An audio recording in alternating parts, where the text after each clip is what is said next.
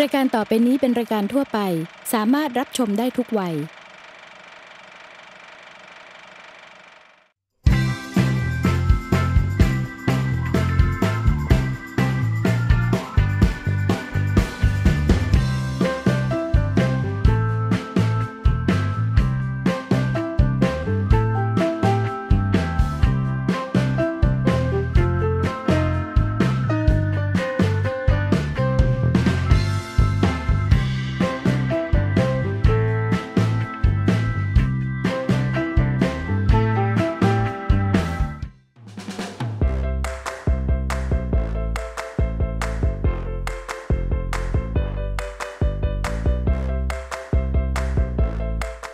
นนี้เรามาพบกันอีกแล้วนะครับ กับผมนะครับอาจารย์ยงยุทธยืนยาวนะฮะหรือว่าเรียกสั้นๆว่า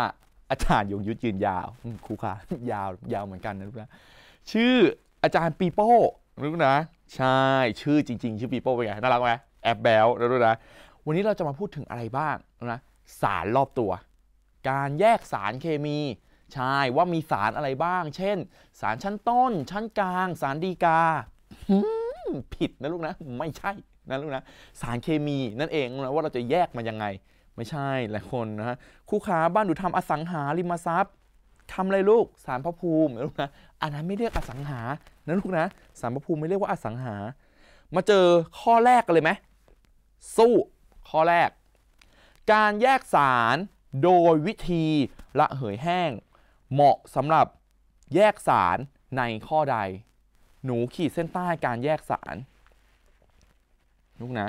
อย่างที่บอกการแยกสารหนูไม่ใช่สารชั้นต้น ชั้นกลางสัมปภูมิหรืออะไรก็ตาม ถูกไหมลูก หนูมีสารที่มันผสมกันอยู่ หนูอยากแยกสารออกมา มีวิธีอะไรบ้างถูกไหมลูก มีวิธีอะไรบ้างที่ใช้ในการแยกสาร ดูนี่วิธีแรก filtration you know filtration separation method นะเป็นไงลูกสำเนียงครูก็ยังยืนยันว่าสำเนียงครูเป็นสำเนียงแบบออกฟอร์ดนะลูกนะ ออกฟอร์ดใช่ครูจบออกเหล็กมาด้วยนะลูกนะ filtration ทำไมลูก filtration separation การแยกการกรอง การกรองการแยก method แปลว่ากระบวนการ กระบวนการ separation แปลว่าการแยก filtration แปลว่าการกรอง กระบวนการการหลายคนหลายคนแปลลูกนะกรองแยกกระบวนการหนูลูกนะเซนนิดหนึ่งรูปภาษาอังกฤษนะลูกนะ การการกระบวนการการกรองแยกการแยกกันสารไอการแยกสารโดยการกรองอะไรแบบนี้ถูกไหมลองดูในรูปภาพนะลูกนะเขาบอกเขามี mixture of water and sand หมายความว่ามีน้ำแล้วก็มีทรายแซนนั่นคือทรายลูกนะมีสารมีน้ำมีทรายผสมกันอยู่นึกง่ายๆเหมือนน้ำทะเลอย่างเงี้ยมีน้ำมีทรายผสมกันอยู่ จะเอามากรองแยกทรายกับน้ำได้ยังไง นี่ลูก เห็นรูปตัว V นี่ไหมใช่ ตัว V ตรงนี้เราเรียกว่าfilter funnel นี้เป็นเครื่องมือเคมีนะลูกนะ funnel funnel ภาษาไทยเราใช้คำว่ากรวย แยกนะฟิลเตอร์กันแยกกรวยกรองดีกว่าใช้หนูใช้คำว่ากรวยกรองดีกว่า กรวยกรอง นะแต่กรวยกรองตัวนี้มันเป็นรูปตัวนี้อย่างนี้เฉยๆมันเป็นมันเป็นแท่งแก้วอย่างนี้ปุ๊บนไหมถ้าหนูไม่ได้ใส่อะไรปุ๊บน้ำก็จะไหลแบบฟื้ดมาอย่างนี้เลย อย่างนี้เลยถูกไหมไม่ได้ หนูต้องมี filter paper ลูกตัวนี้ filter paper filter paper นี่คือกระอะไรลูก กระดาษกรอง กระดาษกรอง กระดาษกรองตัวเนี้ยมันจะเป็นแผ่นกลมๆ ลักษณะจะเป็นแผ่นกลมๆ โอ้โหครูขากลมมาก เอาใหม่ แผ่นกลมๆ โอ้ย เอาใหม่นะลูกนะ แผ่นกลมๆ นี่กลมไหมกลมมาก เป็นแผ่นกลมๆ ตัวนี้หนูจะต้องเอามาพับ มาพับให้มันเป็นรูปกรวยแบบนี้ ถูกไหม ทุกคนเคยพับใช่ไหม พับให้มันเป็นรูปกรวยอย่างเงี้ยปึ๊บมันจะเป็น แล้วเอามาใส่ใน funnel เห็นไหมเอามาใส่ใน funnelเอาไว้ฟืบแล้วหนูก็เทสารเราอะใส่เข้าไปตัวนี้ หนูเทสารนะ เทสารใส่เข้าไปในนี้ปุ๊บแล้วมันก็จะกรองออกมาได้ ตัวที่เป็นสารละลายตัวที่เป็นน้ำเป็นอะไรอย่างเงี้ยมันจะหล่นลงมาข้างล่างในบีเกอร์ของเรา อันนี้คือบีเกอร์ตัวที่หล่นลงมาจากการกรองเราเรียกเราเรียกตัวนั้นว่า filtrate filtrate filtrate นะ ตัวที่หล่นออกมาจากการกรองเราเรียกนั้นว่า fil fil fil filtrate อีกตัวหนึ่ง residue ก็คือกาก อันนี้ก็คือกากก็คือสารที่ตกค้างที่มันไม่สามารถผ่านรูกระดาษกรองเข้ามาได้ โอเคไหมเพราะฉะนั้นหนูคิดภาพตาม เอาทรายผสมน้ำแล้วเทกรองอะไรผ่านมาได้ น้ำก็ผ่านมาได้ทรายก็ค้างอยู่บนกระดาษกระดาษกรองนั่นเอง โอเคไหมโอเคไหม อันที่สอง distillation การกันดูนะการกลั่นทำไง การกลั่นทำยังไง อันนี้ เอาไว้ใส่สารเคมีของเรา ไว้ใส่สารที่ต้องการแยกสารที่ ต้องการแยกถูกไหมแล้วเราก็ให้ความร้อนไปปุ๊บ อันนี้คือไฟถูกไหม ไฟตรงนี้ให้ความร้อนให้ความร้อนหลายคนเอาไดเป่าผมมาเป่านึกนะ ให้ความร้อน พอให้ความร้อนไปปุ๊บ สารเราจะละอะไรขึ้นมาลูกกอไก่ระบำขอไข่ระเหยลูกใช่สารเราจะระเหยขึ้นมาถูกไหมระเหยผ่านเข้ามาตามท่อนี้ฟืบตามท่อนี้มามาปุ๊บปุ๊บปุ๊บปุ๊บแต่สารเรามันเป็นไอใช่ไหมสารเรามันเป็นไอฟืบถ้าเราจะต้องการเก็บ เราต้องทำให้มันควบแน่นลงมา ควบแน่นคือต้องเปลี่ยนจากไอเป็นของเหลว เราจะโฟล์น้ำลูกโฟล์น้ำตัวนี้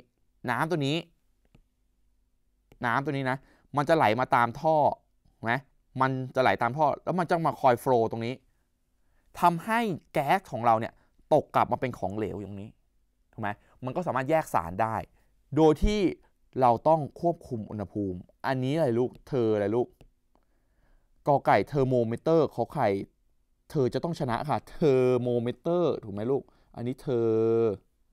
เทอร์โมมิเตอร์ถูกไหมเทอร์โมมิเตอร์ใช่ไหมลูก อันนี้เป็นวิธีการกลั่นแบบง่าย ๆ เลย หลายคนถามง่ายแล้วเหรอนี่ครู ใช่ อันนี้คือการกลั่นแบบง่ายๆ อันที่ 3 คือ fractional distillation fractional distillation อันนี้นิยมมากในการกลั่นน้ำมันดิบ เขาเรียกว่าการ การกลั่นลำดับส่วน เราเรียกว่าการกลั่นลำดับส่วน การกลั่นลำดับส่วนเนี่ยใช้กลั่นสำหรับ สารที่มี จุดเดือดใกล้เคียงกัน รูคะ นั่นลายมือใช่ นั่นลายมือลูก ใช่ ลายมือครูเหมือนหมอไหม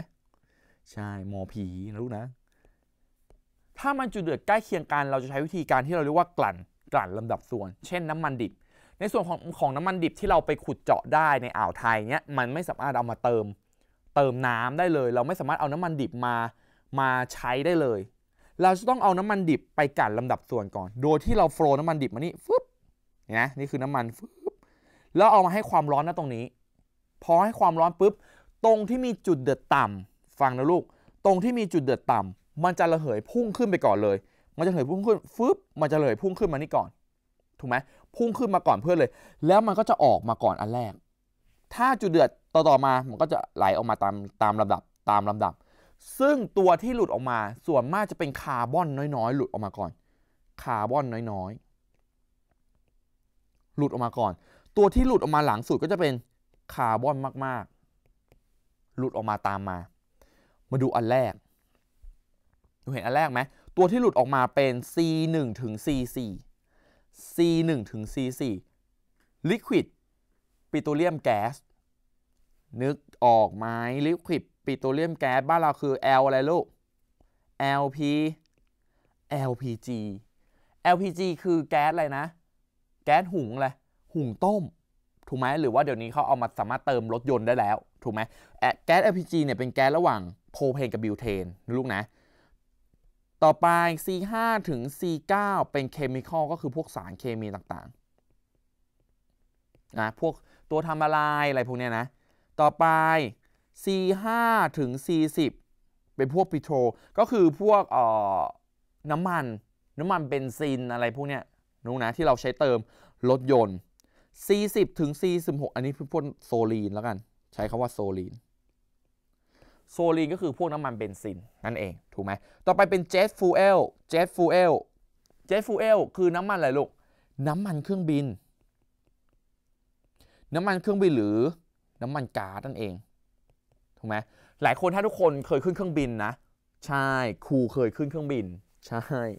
ขึ้นบนหลังคาเครื่องบินนะลูกนะ ไม่ใช่นั่งนะลูกนะ น้ำมันก๊าซอะลูก มันจะได้กลิ่นน้ำมันก๊าซตอนที่เขาสตาร์ทเครื่อง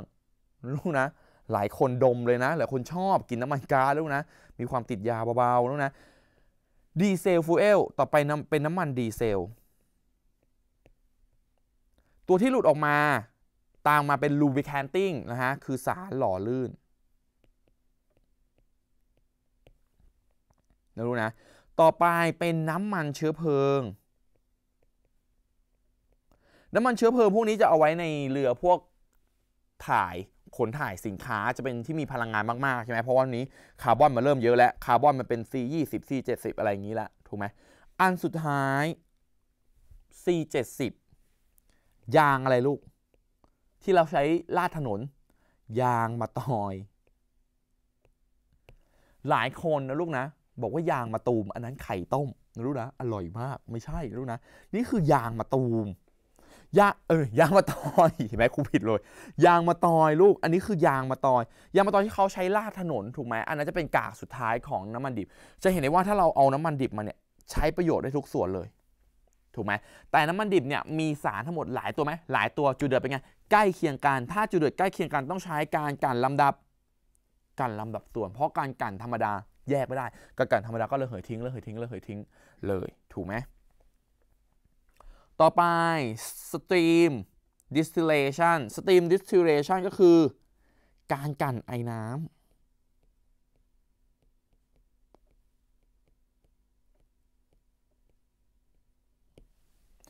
การกั่นด้วยไอ้น้ำง่ายเลยเหมือนการกั่นเมื่อกี้ปกติเลย ตัดภาพมานี่ อันนี้คือ distillation ธรรมดา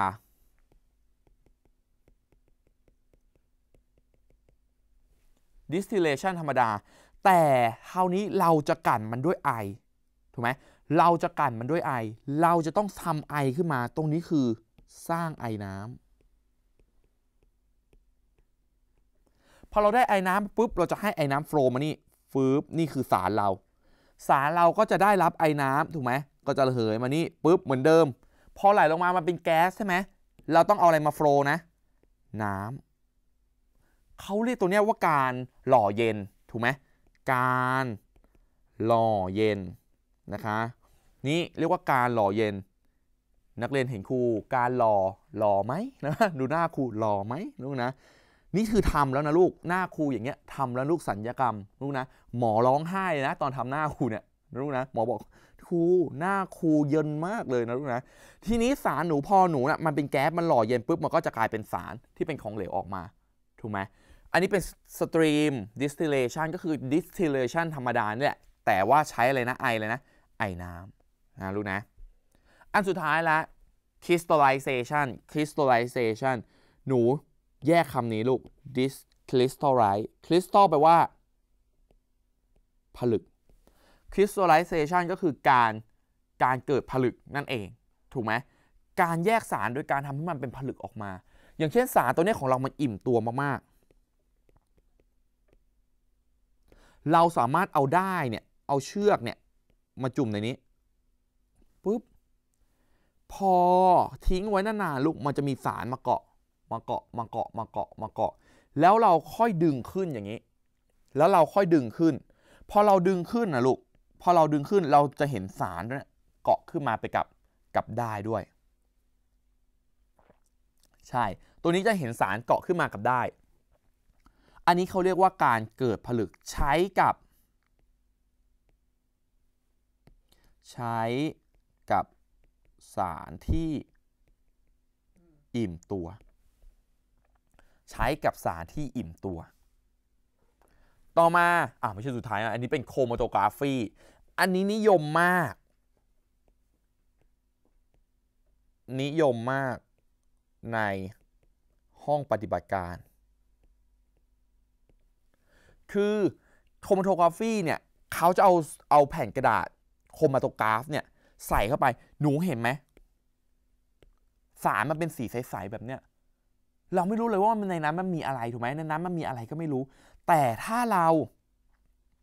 เอาจดสปอตตัวนี้ครับลูก อันนี้เป็นโครมาโตกราฟีถูกไหม เราหยดสารลงไป สารของเราเนี่ยไม่รู้อะว่ามันมีอะไรบ้าง ถูกไหมสารเราหนึ่งอันไม่รู้มันมีอะไรบ้าง เอาไปหยด เอาไปจุ่มในสารใสๆตัวเนี้ยมันจะค่อยๆพุ่งขึ้นมา มันจะค่อยๆแยกขึ้นมาทำให้รู้ว่า อ๋อหนึ่งจุดของเราอะ มันอะ ไม่ได้มีสารสีเดียวนะ มันมีสารตั้งหลายอัน ถูกไหมทำให้รู้ว่า อ๋อ สปอตหนึ่งสปอตอะ มันมีสารหลายอัน ถูกไหมหนึ่งจุดมันแยกสารได้หลายตัว โอเคไหม ทีนี้ลองมาดูกลับมาดูข้อแรก การแยกสาร เห็นไหมไปอธิบายตั้งเยอะตั้งแยะเลย การแยกสารโดยวิธีการละเหยแห้งลูกละเหยแห้งละเหยแห้งคือให้อะไรให้ความร้อน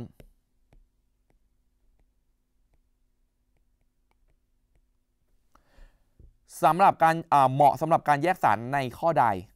เหมาะสำหรับการแยกสารในข้อใด น้ำกับน้ำมัน หนูน้ำกับน้ำมันมันแยกชั้นกันอยู่แล้วไหมแยกชั้นกันอยู่แล้วถูกไหมเราจะใช้ตัวนี้เราจะใช้กันที่ว่ากรวยแยก กรวแยกจะมีลักษณะแบบนี้ปึ๊บแล้วมีจุกเปิดปิดตรงนี้ นึกภาพตามนะลูกนะ น้ำของเรากับน้ำมันจะอยู่นี้ มันจะแยกชั้นกัน ถูกไหมเราก็ค่อยๆเปิดกลวยตัวนี้ เราเราก็ค่อยๆเปิดกลวย มันก็จะไหลแยกชั้นลงมาเห็นไหมพอถึงสถานที่เราไม่ต้องการเราก็ปิดปุ๊บได้เลย ถูกไหมลูก ต่อไปน้ำตาลกับทราย น้ำตาลกับทรายวิธีการแยกที่ง่ายที่สุดคืออะไรลูก หนูเอาไปละลายน้ำสิ ละลายน้ำหนูเอาไปละลายน้ำพอหนูละลายน้ำเสร็จแล้วพี่ถามหน่อย ว่าน้ำตาลกับทราย น้ำตาลกับทรายตัวไหนละลายน้ำลูก น้ำตาลละลายน้ำแล้วเราก็เอาไปกรอง ถูกไหม เอาไปกรอง พอสารละลายที่ได้ออกมาเป็นสารละลายน้ำตาลถูกไหมตัวที่ไม่หลุดออกมาก็เป็นอะไร เป็นทราย อันนั้นก็คือ filtration separation method อันแรกที่เราพูดพูดไปแล้วเมื่อกี้ถูกไหมน้ำกับเกลือ อันนี้แหละ น้ำกับเกลือ น้ำผสมอยู่กับเกลือแล้วเนี่ยมันละลายไหมละลายกลายเป็นน้ำอะไรลูกน้ำเกลือ น้ำเกลือ น้ำกับเกลือผสมกันเป็นน้ำเกลือ ถูกไหมอะไรว่าอาครูแล้วน้ำเชื่อมล่ะ น้ำกับเชื่อมหรือเปล่าลูกไม่ใช่ น้ำเชื่อมคือน้ำกับน้ำตาล สารพวกเนี้ยถ้ามันผสมกันแล้วมันกลายเป็นเนื้อเดียวกันแล้ว เมื่อครั้งก่อนนู้เลยเราเรียนสารพวกสารเนื้อเดียวนะสองพวกสารละลายถูกไหมมันผสมกันเป็นเนื้อเดียวแล้ว ถ้าเราแยกเราต้องระเหยแห้ง เพราะว่าถ้ามันอันนี้เป็นจานให้ความร้อนของเรา อันนี้เป็นไฟ ถ้าเนี้ยเป็นน้ำเกลือ ถ้าเราให้ความร้อนไปปุ๊บอะไรที่ระเหยออกลูก เกลือหรือน้ำ ต้องเป็นน้ำระเหยออก พอน้ำระเหยออกหมดเราจะเห็นแต่เม็ดอะไร ใช่ เราจะเห็นแต่เม็ด เม็ดเกลือ ถูกไหมแสดงว่าข้อนี้ตอบข้อคอควาย ผงตะไบเหล็กกับกรรมฐาน ผงตะไบเหล็กกับกรรมฐานง่ายมาก ผงตะไบเหล็ก ใช้แม่เหล็กดูดไง แม่เหล็กดูด เพราะว่าแม่เหล็กจะดูดกับผงตะไบเหล็ก แต่ว่ากรรมฐานดูดไหมไม่ดูด ถูกไหมกรรมฐานไม่ดูด เพราะฉะนั้นเราก็ใช้แม่เหล็กแยกได้เลย จบ ถูกไหมลูก ต่อไป การตกผลึกเหมาะสำหรับใช้แยกสารในข้อใด การตกผลึก เหมาะสำหรับการแยกสารในข้อใด ดูดิกอไก่ สารปริมาณน้อย ขอไข่ สารที่มีจุดเดือดต่างกัน คอควาย สารที่มีสี งองู สารละลายที่ตัวถูกละลายเป็นของแข็ง สารปริมาณน้อย สารที่มีจุดเดือดต่างกัน สารที่มีสีสารที่ตัวถูกลายเป็นของแข็ง ตอบข้อ ใช่ ข้อนี้ตอบข้อ ข้อ 4 ถูกไหมจำได้ไหมถ้าตัวถูกลายเป็นของแข็งตัวนี้เป็นบิ๊กเกอร์ถูกไหมสารละลายเรามีอิ่มตัวละลายอยู่ด้านในละลายอย่างนี้ปึ๊บถ้ามันเป็นของแข็งจริง เราเอาตัวนี้มาตบผลึกโดยการที่เราเอาเชือกมาเนี่ยย่อนลงมา ของแข็งจะมาเกาะตามเชือกตัวนี้ถูกไหมของแข็งจะมาเกาะตามเชือกตัวนี้ แต่ถ้าสารปริมาณน้อย หนูสามารถแยกโดยการใช้โครมาโตกราฟีถูกไหมจุดแค่สปอตเดียวปุ๊บรู้เลยว่าเราแยกสารได้ไหมมีอะไรบ้าง จุดเดือดต่างกัน สารที่มีจุดเดือดต่างกัน ใช้วิธีอะไรลูกระเหยก็ได้ถูกไหมการกลั่นก็ได้ถูกไหมการกลั่น สารที่มีสีก็ใช้เป็นพวกโครมาโตกราฟีเหมือนเดิมก็ได้ ถูกไหมสปอตมาปุ๊บเราจะได้รู้ว่าสีตัวเนี้ยมันแยกออกมาเป็นอะไรได้บ้าง โอเคไหมโอเคนะ ไม่ยากเท่าไหร่ โอเค ต่อไปหากต้องการแยกน้ำมันออกจากน้ำควรแยกโดยวิธีใด เฮ้ย ข้อนี้ทำไปแล้วข้อหนึ่งถามก่อนน้ำมันกับน้ำเนี่ยน้ำมันกับน้ำเนี่ยมันมันผสมกันไหมผสมกันไหมลองเอาน้ำมันพืชผสมกับน้ำเปล่าบ้านเราสิ ผสมไหมไม่ผสม เพราะนั้นมันแยกชั้น แยกชั้นเราใช้อะไรแยกนะ ใช่เลย เดี๋ยวว่าให้ดูจะนึกภาพออกครูวาดรูปสวยลูกไม่ต้องห่วง นี่ ถูกไหมใส่ใส่น้ำกับน้ำมันของเราเข้าไป ใส่น้ำกับน้ำมัน น้ำน้ำก็จะอยู่ด้านล่าง น้ำมันก็จะคุมอยู่ด้านบน แล้วตรงนี้มันมีจุกเปิดอย่างนี้ไหมมันมีมันมีจุกเปิดตัวนี้ ครูก็ค่อยๆหมุนตรงนี้ลูก เนี่ยค่อยๆหมุนตรงนี้ เอามือมาค่อยๆหมุน ใช่ อันนี้มือนะลูกนะ อันนี้มือนะคะนี่มออือมือนะลูกนะ เอามือมาค่อยๆหมุน หมุน ไอ้ตรงน้ำตรงเนี้ยมันจะค่อยๆออกมา ถูกไหมน้ำตรงนี้ก็จะค่อยๆออกมา ค่อยๆออกมา แล้วมันจะลดลงเรื่อยๆลดลงเรื่อยๆลดลงเรื่อยๆ จนถึงตรงน้ำมัน พอถึงตรงน้ำมันปุ๊บ หนูก็เอามือของหนูตรงเนี้ยล็อกเลย ถูกไหมล็อกปิดปุ๊บเราก็จะได้เหลือแต่น้ำมันที่อยู่ในกลวยแยก ถูกไหมเพราะฉะนั้นตอบข้อข้อหนึ่งโอเคนะ ไม่ยาก ต่อไป ทีนี้เราจะมาเรียนเรื่องสารละลาย ลงลึกในเรื่องของสารละลายเลยว่าสารละลายมีอะไรบ้างโอเคไหมสารละลายมีอะไรบ้าง สารละลายง่ายๆ ภาษาอังกฤษของสารละลายเราใช้คำว่า solution solution หรือสารละลายของเราเนี่ยเกิดจาก 2 ตัวคือ solvent บวกกับ solute solvent ภาษาไทยคือ ตัวทำ ละลาย ส่วนโซลูดลูก ส่วนโซลูดคือ ตัวถูกละลาย ง่ายๆ ถ้าสารละลายน้ำตาลเอ้ยน้ำเชื่อม น้ำเชื่อมเนี่ยหนูเอาอะไรมาผสมอะไรลูก เอาน้ำผสมกับน้ำตาล ถูกไหมอะไรเป็นตัวทำละลาย อะไรเป็นตัวถูกละลาย ตัวถูกละลายคือน้ำเชื่อเอ่อตัวถูกละลายคือน้ำตาล ส่วนตัวละลายหรือตัวทำละลายเนี่ยมันคืออะไรคือน้ำถูกไหมเหมือนกันน้ำเกลือ น้ำเกลือตัวทำละลายก็คือน้ำตัวถูกละลายก็คือก็คือเกลือนั่นเองถูกไหมทีนี้มันมีเยอะมากสารละลายมีอากาศก็มีน้ำในอากาศก็มีคาร์บอนไดออกไซด์ในน้ำแอลกอฮอล์น้ำตาลในน้ำอะไรอย่างเงี้ย ถูกไหมมีเยอะมาก ซึ่งเด็กหลายคนจะไม่รู้ อ๋อ มันสามารถละลายในแก๊สก็ได้ ละลายในของเหลวก็ได้ ละลายในของแข็งก็ได้ แต่จากบทที่แล้วเราสามารถรู้ว่า อ๋อ นี่ไง อากาศก็เป็นสารละลายเหมือนกัน เพราะอากาศคือแก๊สที่ละลายในในแก๊ส ถูกไหมของเหลวในแก๊สได้ไหม ได้ ถูกไหมของแข็งในแก๊สได้ไหม ได้ ของเหลวในแก๊สก็ได้ หรือแก๊สในของเหลว ก็อยังได้แก๊ส ถ้าแก๊สในของเหลวหนูจำได้ไหม แก๊สในของเหลวคาร์บอนไดออกไซด์ในน้ำ คาร์บอนไดออกไซด์ในน้ำละลายปุ๊บจะกลายเป็นน้ำในทันที ขึ้นต้นด้วยโซตามด้วยดาลูก ใช่น้ำโซดา ใช่ไหมเป็นดีเจด้วยนะรู้จักไหมดีเจโซดา ใช่ ครูก็เป็นดีเจเหมือนกันโซไหมไม่โซดานะลูกนะ ไม่ซ่าลูกนะ ดูนี้มาดูความหมายของความเข้มข้นในหน่วยต่างๆบ้าง มาดูนะ ว่าในหน่วยต่างๆ เนี่ยเราจะต้องรู้จักอะไรบ้าง เปอร์เซ็นต์โดยน้ำหนัก 1%โดยน้ำหนัก มาแปลโจทย์ให้ออกกันว่าเฮ้ยโดยน้ำหนักคืออะไรอะ ดูนี่นะ 1% weight by weight weight by weight คือตัวนี้ลูก W slash W 1%โดยน้ำหนัก หมายความว่า ในสารละลาย 100 กรัม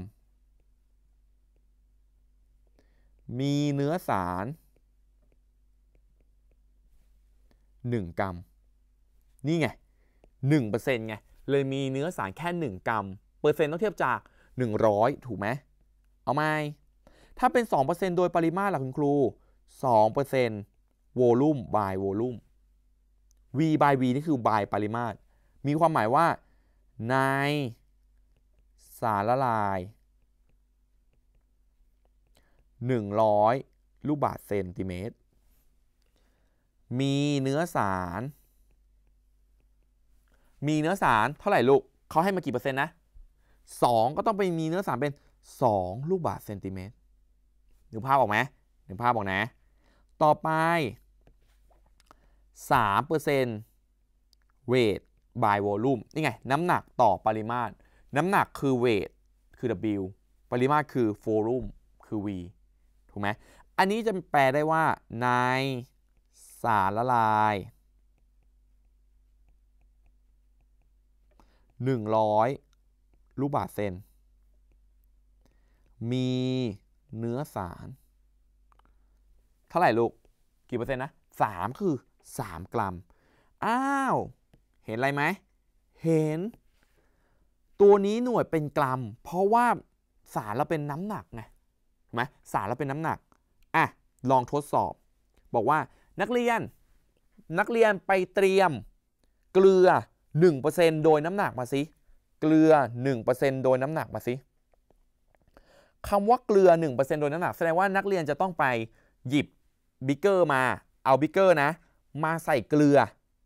เกลือ 1%คือเกลือกี่กรัมนะ 1 กรัม เอาเกลือมาใส่ 1 กรัมปุ๊บ แล้วเติมน้ำจนกว่าจะเป็น 100 ไม่ใช่เติมน้ำอีก 100 ถูกไหมเพราะว่าถ้าเติมน้ำอีก 100 สารละลายเราจะกลายเป็น 101 กรัม แต่เราต้องการสารละลายแค่ 1 กรัม เพราะฉะนั้นเราเติมสารเออเราเติมน้ำแค่ 99 กรัม ถูกไหมจะได้เป็นสารละลาย 100 กรัมพอดี จบ เอาใหม่ถ้าเราต้องการ2%โดยปริมาตรต่อปริมาตร แสดงว่าเราต้องไปเอาเนื้อสารเรามา 2 ลูกบาศก์เซนนี่ไง ตักเนื้อสารมา 2 ลูกบาศก์เซน แล้วเติมน้ำจนกว่าจะมีปริมาตรเป็น 100 ลูกบาศก์เซนลูกไหมเติมไปกว่ามันจะเป็น 100 ลูกบาศก์เซนนึกภาพออกไหมถูกไหม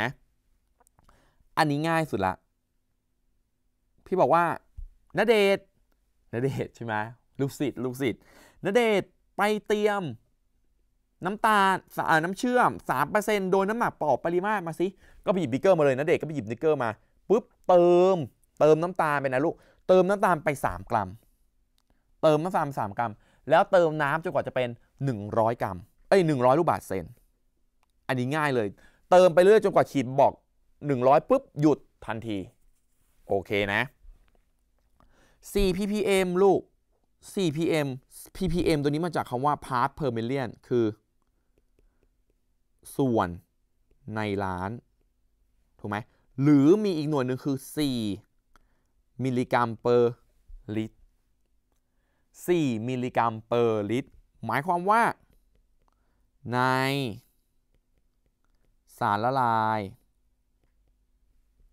ในสารละลาย 1 ลิตร มีเนื้อสาร 4 มิลลิกรัม ต้องการ 4 มิลลิกรัมใช่ไหมอะตักมา 4 มิลลิกรัม แล้วก็เติมน้ำจนกว่าจะเป็น 1 ลิตร ถูกไหมลูก 5 m ใหญ่อ่าอันนี้แหละ m ใหญ่ อันนี้บางโรงเรียนสอนบางโรงเรียนไม่สอนแล้วนะ แต่ว่าเอาครอบคลุมไปเลย 5 m ใหญ่คือ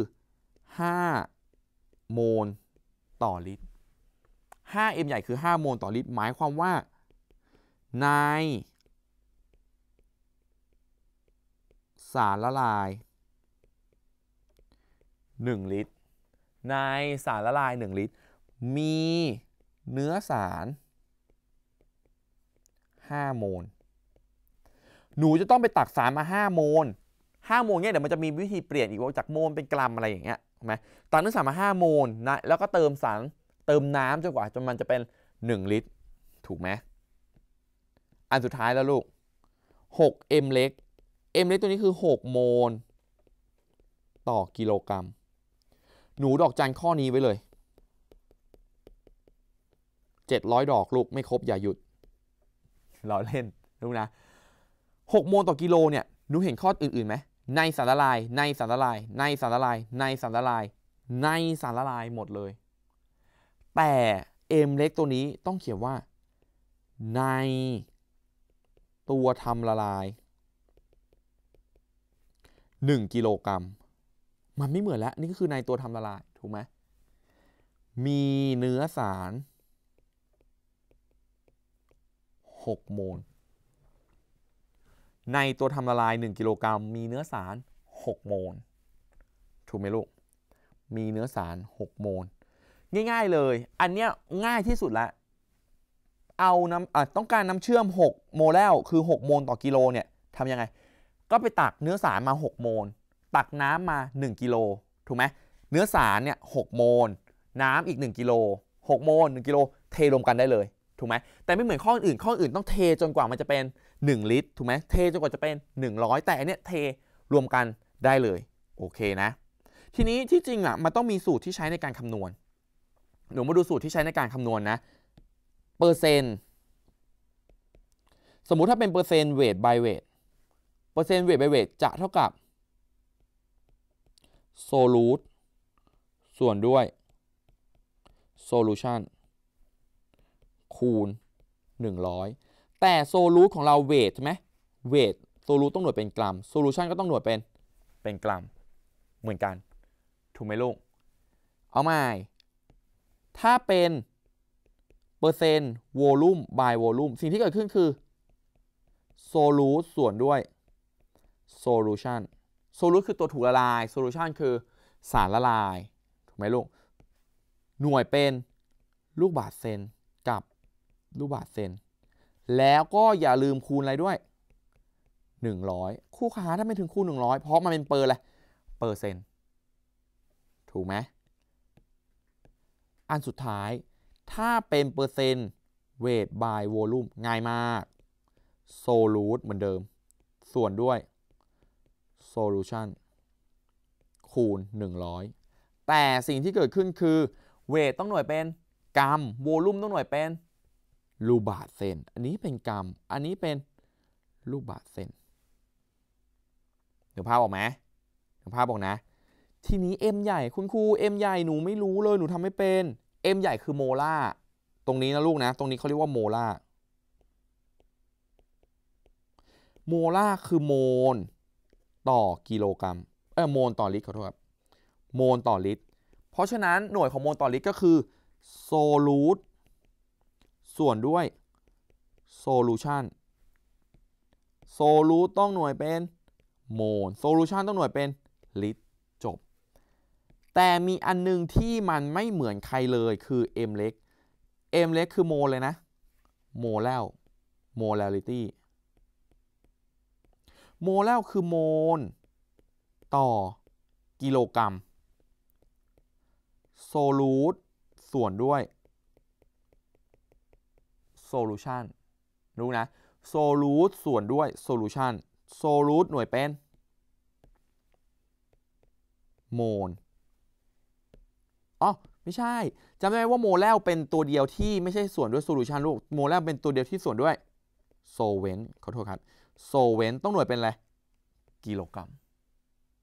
โอเคไหมสังเกต solution solution solution solution แต่ตัวสุดท้ายเป็น solvent โอเคไหมโอเคนะ ไม่ยากเท่าไหร่ ลองมาดูโจทย์ดีกว่า ลองมาดูโจทย์ดีกว่า สารละลายชนิดหนึ่งที่มี NaOH 8 กรัม ละลายน้ำ72.0 กรัม ใจเย็นๆนะ ว่าบิ๊กเกอร์เลย ว่าบิ๊กเกอร์รอเลย บิ๊กเกอร์ในนี้ ในนี้มี NaOH 8 กรัม มีน้ำอีกเท่าไหร่ลูก H2O 72 กรัม ตอบมาก่อน ตัวถูกละลายคือ NaOH หรือคือน้ำลูก ตัวถูกละลายคือ NaOH 8 กรัม ซึ่งแสดงว่าข้อมูลที่เรามีตอนนี้คือ มีโซลูท8กรัม ถูกไหมน้ำคือตัวทำละลายไหมน้ำคือตัวทำละลายขออนุญาตเขียนทับศัพท์เนาะน้ำคือตัวทำละลาย ตัวทำละลายคือ solvent กี่กรัมลูก 72 กรัม solute บวกกับ solvent แสดงว่าตอนนี้ในบีกเกอร์ของเราอะลูกในบีกเกอร์ของเราเนี่ยรวมกันแล้วเป็นกี่กรัม ใช่ solution solution ก็ต้องเอามาบวกกันเอา 72 บวกกับ 80 ถูกไหมวิธีการเอา 72 บวก 80 นั้นหนูเอา 8 ไว้ในใจ ชูนิ้วขึ้นมา 72 นิ้วนะลูกนะนะครูคะปัญญาอ่อนนะคะ นี่เป็น 80 กรัมจำสูตรได้ไหมจำสูตรได้ไหม สูตรของเราเป็นไงนะ solute ส่วนด้วย solution solute ส่วนด้วย solution และคูณ 100 ขึ้นสูตรลูกเปอร์เซนต์ weight by weight เท่ากับ solute ส่วนด้วย solution คูณ 100 solute ต้องหน่วยเป็นอะไรด้วย กรัม solution หน่วยเป็นกรัม solute 8 solution 80 solute 8 solution 80 เพราะฉะนั้นกลายเป็น 8 ส่วน 80 คูณ 100 ถูกไหมใช้วิชาการตัดเลขเลยค่ะลูกนะใครเคยท่องแม่ 80 ก็ต้องทำได้ 8 1 8 นี้ได้ 10 ตัด 0 ตัด 0 ตอบกี่เปอร์เซ็นต์ลูกตอบ 10% weight by weight by weight ไม่ยากนะ แค่ต้องหา solution ให้ได้ ต้องหา solute ให้ได้ หา solution หา solvent ให้ได้ว่าในนั้นมีอะไรบ้าง ถูกไหม ต่อไปเขาบอกว่า ถ้าสารละลายนี้มีความหนาแน่นขีดเส้นใต้ ความหนาแน่น ความหนาแน่นภาษาอังกฤษใช้คำว่า density density เท่ากับ 1.6 กรัมต่อลูกบาศก์เซน จงคำนวณหาเปอร์เซ็นต์ร้อยละ น้ำหนักต่อปริมาตร ขึ้นสูตรเลย เปอร์เซ็นต์เวท by volume เท่ากับ เปอร์เซ็นต์เวท by volume เท่ากับ solute ส่วนด้วย solution แต่ solute ต้องหน่วยเป็น กรัม solution ต้องหน่วยเป็น cm กำลัง 3 คูณด้วย 100 พี่โป้ เรามีแล้ว solute เห็นไหมย้อนอายุตัวเองด้วยเห็นไหมรียกตัวเองว่าพี่ solute 8กรัม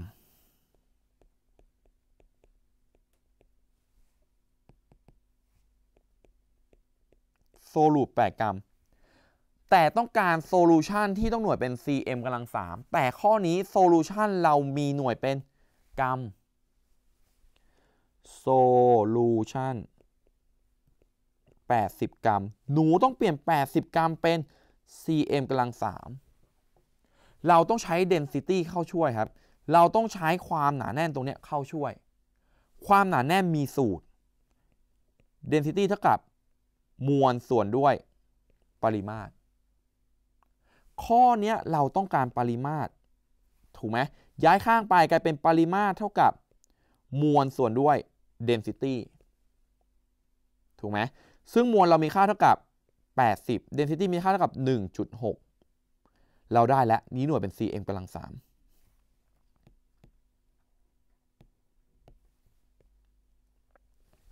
ถูกไหม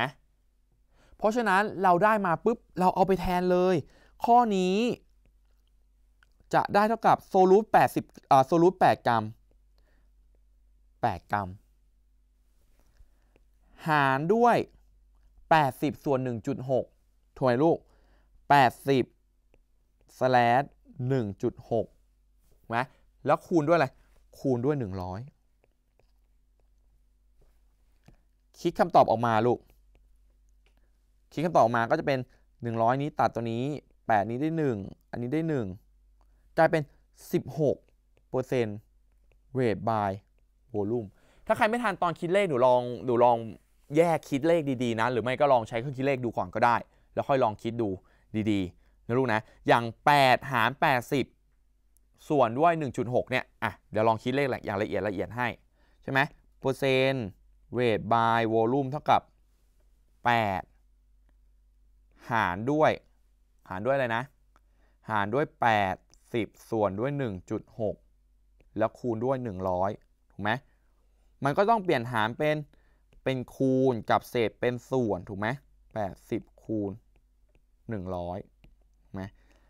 818 ตัวนี้ได้ 10 ตัวนี้ได้ 10 ตัด 0 1.6 คูณ 10 ก็ตอบ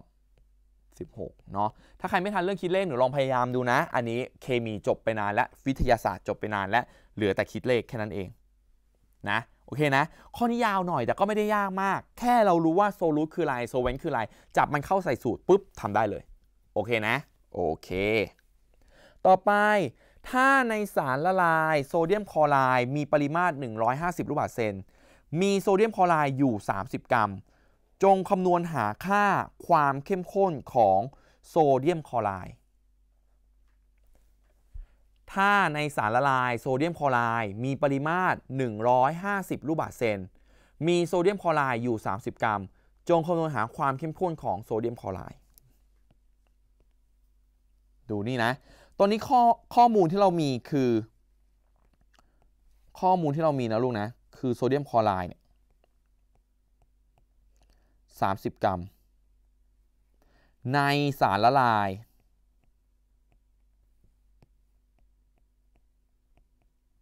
150 กรัม ถูกไหมเราอยากได้ต่อสารละลาย 100จำได้ไหม เราอยากได้เป็นเปอร์เซ็นต์ เราอยากได้เป็นเปอร์เซ็นต์ นี่ไม่ใช่กรัมเนาะนี่เป็นลูกบาศก์เซน เราอยากได้เป็นเปอร์เซ็นต์ เราก็ต้องเอา solute ส่วนด้วย solution คูณ 100 ข้อนี้ง่ายมากเลยอะตัวนี้คือ solute ส่วนสารละลายตัวนี้คือ solutionนะเพราะฉะนั้นเปอร์เซ็นต์ weight by volume ก็คือ 30 ส่วนด้วย 150 คูณด้วย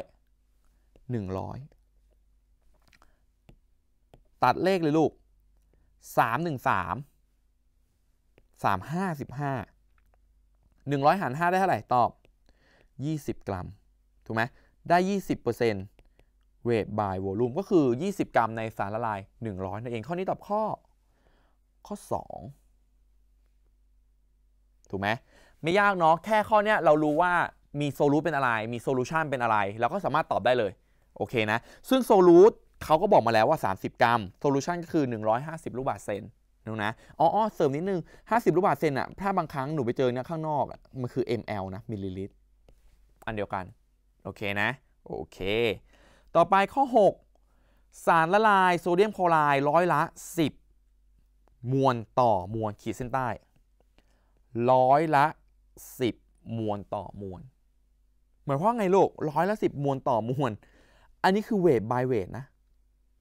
คือตัวนี้มีความเข้มข้น NaCl เท่ากับ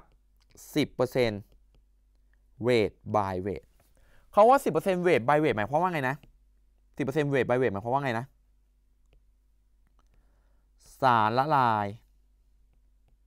100 กรัม มี NaCl 10 กรัม แสดงว่าถ้าตักสารละลายมา 100 กรัมเนี่ยในนั้นนมีเนื้อสารอยู่แค่ 10 กรัมถูกไหมในนั้นมีเนื้อสารอยู่แค่ 10 กรัมเขาก็เลยบอกว่า ถ้าต้องการเตรียมสารละลาย 150 ล่ะ ต้องใช้ตัวเนี้ยกี่กรัม ไม่รู้ แต่ว่าสิ่งที่เรารู้อย่างเดียวคือ ถ้าต้องการใช้ 100 กรัม ต้องใส่สารไปกี่กรัม 10 กรัม แสดงว่าสารเราต้องใส่ไปมากกว่า 10ไหมถ้าเราต้องการ 150 มากกว่าก็ไก่ผิดแล้วถูกไหมวิธีทำง่าย ๆ เลยเทียบประยัดยางยังได้เลย ถูกไหมสารละลาย 100 กรัม ใช้ NaCl 10 กรัม ถ้าต้องการสารละลายสรลอคือสารละลายนะลูก ถ้าต้องการสารละลาย 150 กรัม ต้องใช้ NaCl กี่กรัม วิธีทำง่ายมากเลย เอาตัวนี้คูณขึ้น แล้วหารด้วยตัวนี้ถูกไหมเพราะฉะนั้นเป็น 150 คูณ 10 หาร 100 ถูกไหมตัด 0 0 0 0 ตอบกี่กรัมลูก 15 กรัม ยากไหม ไม่ยากเท่าไหร่เนาะแค่เราต้องรู้ว่าอะไรคือสารละลาย อะไรคือตัวทำละลายอะไรคือตัวถูกละลาย เทียบบัญญัติยางก็ได้ ข้อนี้ตอบข้อ ขอไข่ แค่เทียบบัญญัติยางก็ออกแล้วลูกบางข้อไม่ยากเลย จงคำนวณหาความเข้มข้นในหน่วยของ M ใหญ่ M ใหญ่คือโมลาร์โมลาร์คือโมล ต่อลิตร dm กำลังสามคือลิตรนะลูกนะ มันก็เลยมีสูตรว่า อ๋อ m ใหญ่คือ solute ส่วนด้วย solution แต่ solute ของเราต้องหน่วยเป็นโมล solution ของเราต้องหน่วยเป็นลิตรถูกไหมหนูมาดู solute ของเราก่อนให้เนื้อสารมาเท่าไหร่ร้อยยี่สิบกรัม ดูนี่ solute 120กรัม ใช้ไม่ได้ หนูต้องเปลี่ยน120กรัมเป็น โมลถูกไหม solution สารละลายเนี่ย solution เขาให้มา 250 solution เขาให้มา 250 ลูกบาศก์เซน ใช้ไม่ได้ หนูต้องเปลี่ยน 250 ลูกบาศก์เซนเป็น ลิตร ถูกไหม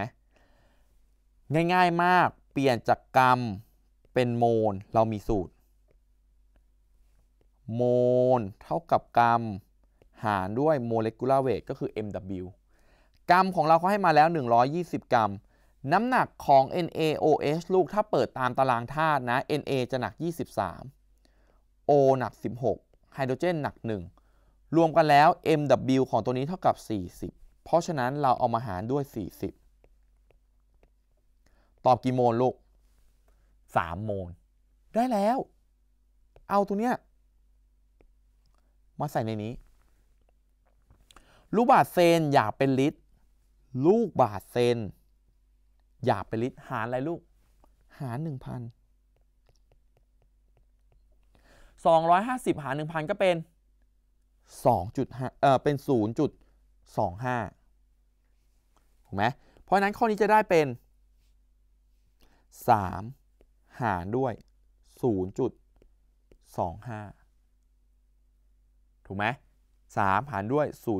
0.25 เพราะฉะนั้นข้อนี้จะตอบหนูเคยท่องแม่จุดจุด25ไหมลูก เคย ถูกไหมทุกคนเคยท่องแม่ 0.25 ถูกไหมใช่ตอบ 12 molar หรือว่า 12 โมลต่ออะไรโมลต่อลิตรนั่นเอง ถูกไหมที่สำคัญข้อนี้ง่าย ๆ เลยคือเราต้องหาโมลให้เจอ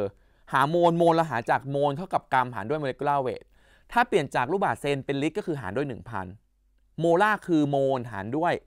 ลิตรถูกไหมเนื้อสารเป็นโมลสารละลายเป็นลิตรตอบถูกได้เลย แล้วก็ท่องแม่สูตรคูณให้ได้แค่นั้นเอง แล้วก็ครูครูท่องสูตรคูณได้ตอนไหนครูบอกเลยนะครูท่องสูตรคูณตั้งแต่ก่อนครูเป็น embryo ใช่ไหมเก่งไหมเก่ง ผนังมดลูกแม่ครูเป็นตารางธาตุเลยนะพูดแค่นี้แหละครูเก่งมากนะลูกนะมาดูข้อ 8 ลูก ตักสารละลายน้ำตาลมา 20มิลลิลิตรตักสารละลายหนูขีดเส้นใต้คำว่าสารละลายก่อน ต้องตอบตัวเองให้ได้อย่างนี้ว่าเป็น solute solvent หรือ solutionสารละลายคือ solution ถูกไหมข้อนี้สารละลายคือ solution ตักสารละลายน้ำตาลมา 20มิลลิลิตรบอกแล้ว 20มิลลิลิตรคือ ml ml คือลูกบาศก์เซนเหมือนกัน ถูกไหม จากสารละลายเข้มข้นร้อยละ 50 โดยมวลต่อปริมาตร เข้มข้นร้อยละ 50 โดยมวลต่อปริมาตร หนูตัวนี้มีความเข้มข้น น้ำตาลนะ น้ำตาล สารละลายน้ำตาลเนี่ย50%โดยมวลคือ weight by volume ถูกไหม ที่ตักในสารละลายกี่กรัม ตักสารละลายน้ำตาลทราย 20 ml จากสารละ จากสารละลายเข้มข้นร้อยละ 50 โดยมวลต่อปริมาตร น้ำตาลที่ตักมาจะมีกี่กรัม ไม่รู้เลย แปลงตัวนี้ก่อนเลยลูก แปลงตรงนี้ หมายความว่างี้ ตรงนี้หมายความว่าไง ในสารละลาย 100 ใน สารละลาย 100 ลูกบาศก์เซนเนี่ย100 ml เนี่ย มี น้ำตาล 50 กรัม หมายความว่าถ้าครูตักตัวเนี้ยมา 100 ลูกบาศก์เซนจะมีน้ำตาลละลายอยู่ 50 กรัม แต่ข้อนี้เขาได้ตักถึง 100 ลูกบาศก์เซนไหมลูก ไม่เขาตักแค่เท่าไหร่ 20 ลูกบาศก์เซน เพราะฉะนั้นเทียบเป็นตารางต่อเลย ถ้าในสารละลาย 20 ลูกบาศก์เซน มีน้ำตาลทราย เท่าไหร่ เอา 20 คูณ 50 หาร 100 การเทียบประหยัดานทุกคนทำเป็นใช่ไหม เอาเนี่ย20ตัวนี้คูณ 50 ตัวนี้แล้วก็หาร 100 ตัวนี้ ถูกไหมเพราะฉะนั้นข้อนี้ตอบ 10 กรัม มีช้อยส์ไหมมีตอบข้อ ข้อสามีวิธีง่ายกว่านั้นอีกนะ มีวิธีง่ายกว่านั้นอีก เรารู้ว่า 50 เนี่ย มันอยู่ใน 100 ถูกไหมถ้าตักมา 100 เนี่ย มันได้20เอ่อ100 เนี่ย มันได้ 50 กรัม คำถามคือเขาตักมาแค่อะไรตักมา 20 คิดในใจถ้าใครคิดไวจะคิดได้ 100ไปเป็น 20 หารอะไรลูก หาร 5 เพราะฉะนั้น 50 เราก็ต้องเอาไปหารอะไรหาร 5 50หาร5ตอบ 10 กรัม ถูกไหมแต่ถ้าใครไม่ได้ก็มาใช้วิธีตรงตัวนี้ก็ได้ ถูกไหมไม่ยากไม่ยากต่างกันเท่าไหร่ โอเคไหมต่อไปข้อ 9 ในชามมีน้ำ20เอ่อในในชามมีน้ำ200 กรัม ในชามมีน้ำ200 กรัม มีน้ำตาลละลายอยู่ในน้ำ20 กรัม มีน้ำตาลละลายอยู่ในน้ำ20 กรัม หลังจากทิ้งไว้ 3 วัน พบว่าสารละลายเหลืออยู่ 110 กรัม ในสารละลายที่เหลือมีปริมาณส่วนประกอบอย่างไร ในสารละลายที่เหลือมีปริมาณส่วนประกอบอย่างไร เอาใหม่ หนูวาดชามที่ลูกวาดชาม ในชามใช่อันนี้คือชามลูกนะ ชามตาไก่ด้วยลูกนะอ่ามีไก่ นี่คือไก่ลูกนะ ชามตาไก่ ในชามเนี่ยมีน้ำเท่าไหร่ล่ะลูก มีน้ำอยู่ 200 กรัม ในชามตาไก่นะ มีน้ำ H2O เนี่ย200 กรัม มีน้ำตาลอยู่ 20 กรัม น้ำตาลให้เป็นผลึกสีเขียวๆนี่นะ มีน้ำตาลเนี่ย20กรัม แสดงว่าตอนนี้สารละลายเรารวมเป็นเท่าไหร่ลูก สารละลายเราทั้งหมดเนี่ยตอนนี้รวมเป็นเท่าไหร่220กรัม ถูกไหมรวมเป็น220กรัม แต่ตอนเนี้ยเอา มันปล่อยทิ้งไว้3วันอะ่ะ มันระเหยออกอะ่ะ มันระเหยระเหยระเหยออก อีชามตาไก่ของเราเนี่ย กลายเป็นมีสารละลาย กลายเป็นมีสารละลาย 110 กรัม มีสารละลาย 110 กรัมคำถาม น้ำตาลเราระเหยไหมน้ำตาลเราระเหยลูกไม่ระเหยแสดงว่าน้ำตาลเรามีกี่กรัมเหมือนเดิม 20 กรัมเหมือนเดิม แต่สารละลายเราเป็น 110 สารละลายเราเป็น 110 น้ำตาล 20 ตอบคำถามครูมา น้ำลูก แสดงว่าน้ำแสดงว่าน้ำเป็นเท่าไหร่ สารละลายเป็น 110 น้ำตาลเป็น 20 น้ำจะต้องเหลือแค่ 90 ก็เอา 110 มาลบกับ 20 ก็ได้เป็นน้ำ90 มีช้อยไหมลูก กลายเป็นน้ำน้ำ90 ข้อนี้ตอบช้อยข้อ ข้อนี้ตอบช้อยข้อมีไหมตอบช้อยข้อ ข้อ 3 นั่นเองถูกไหมลูก ข้อนี้ตอบช้อยข้อ ข้อ 3 นั่นเอง ต่อไปข้อ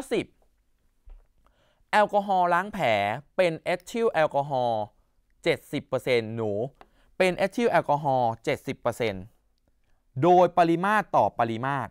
ข้อใดถูกต้องที่สุด ข้อใดถูกต้องที่สุด ดูนี่นะ แอลกอฮอล์ล้างแผลเป็นเอทิลแอลกอฮอล์เอทิลแอลกอฮอล์ลูก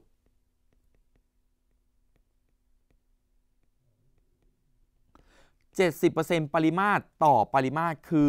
weight by weight ถูกไหม ตัวนี้นะเท่ากับ 70%เอ่อ volume by volume ขอโทษลูก volume by volume เขาถามว่าสารละลายมีเท่าไหร่ เนื้อสารมีเท่าไหร่ ถ้าจำได้โวลูมต้องหน่วยเป็นอะไรลูกบาศก์เซน ถูกไหมแสดงว่าอันนี้แปลแบบตรงตัวเลย ใน สารละลาย 100 ลูกบาศก์เซน มี เอทิลลูก ถูกไหมเนื้อสารของเรามีเอทิลอยู่เท่าไหร่ อยู่เท่าไหร่70ลูกบาศก์เซน อันนี้คือข้อมูลที่เราต้องมีสารละลาย 100 มีเนื้อสาร 70 ถูกไหม แต่หนูเห็นไหม เขาไม่ให้มีสารละลาย 100 เลยสักข้อ ถูกไหม เขาไม่มีสารละลาย 100 เลยสักข้อ ดูซิเขามีสารละลายเท่าไหร่บ้าง ข้อ 1 สารละลาย 50 ลูกบาศก์เซน มีเอทิลแอลกอฮอล์35 เฮ้ย ข้อนี้หมายความว่าถ้าสารละลายเรา 100 เราจะมีเนื้อสารเท่าไหร่ 70 แต่ถ้าครูตักมาแค่ครึ่งหนึ่ง ตักมาแค่ 50 แสดงว่าเนื้อสารครูก็มีแค่ ครึ่งเดียวจาก 70 ต้องเหลือ 35 ฟลุกเลย ข้อนี้ตอบข้อ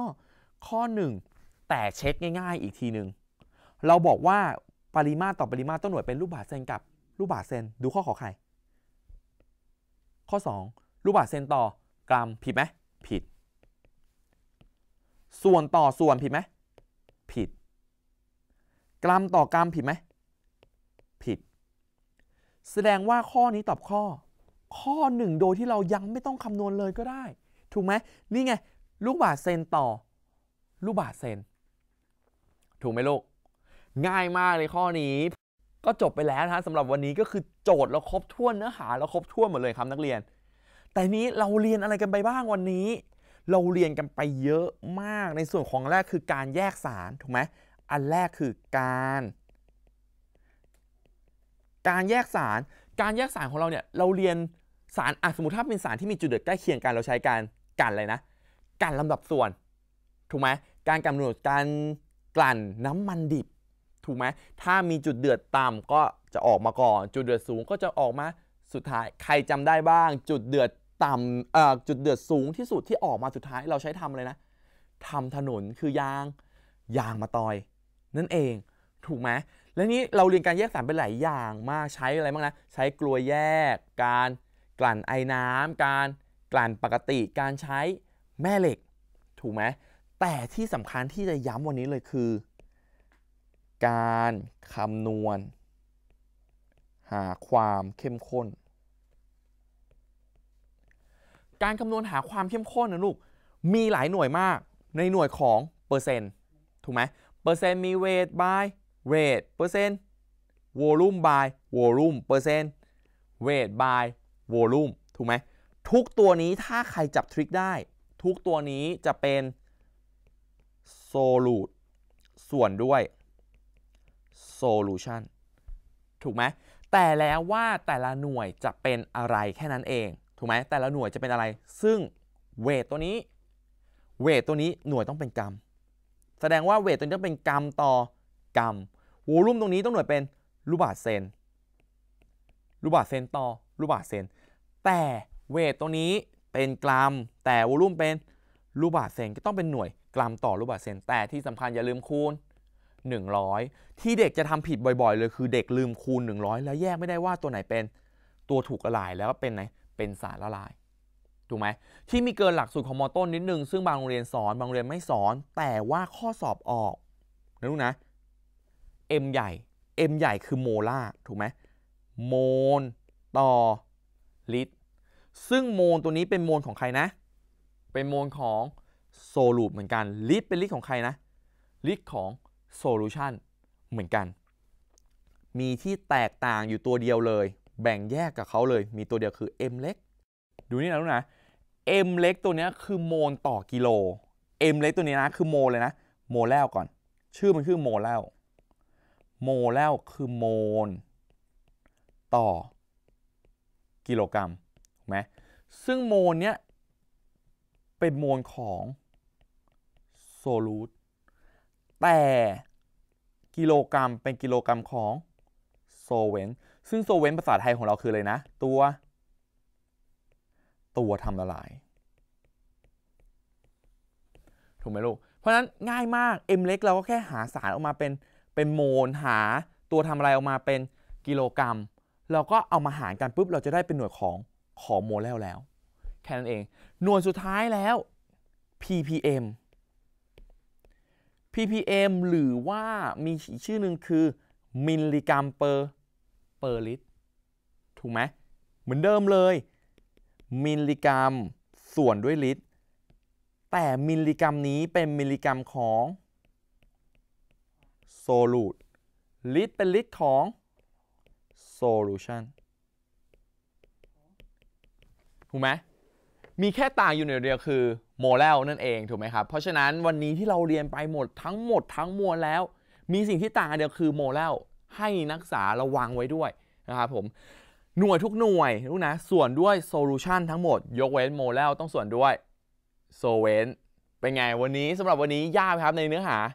นิดหน่อยจะเชื่อมไปเรื่องในการคำนวณนะในหน่วยของความเข้มข้นเนี่ยจะหนักไปทางคำนวณเยอะมากเลย ขอให้นักศึกษาลองไปฝึกฝน